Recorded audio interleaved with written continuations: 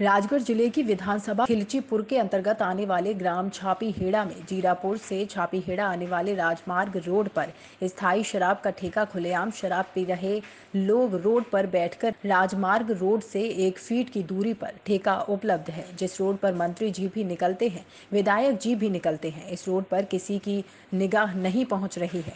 इसको देखा जाता है कि सरकार की दबंगई या आबकारी विभाग की दबंगई, क्योंकि एक तरफ़ तो उमा भारती शराबबंदी का हंगामा खड़ा कर रही है।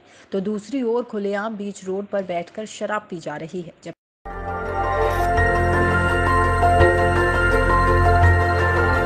देखते रहिए डीवी भारती समाचार। नज़र हर खबर पर।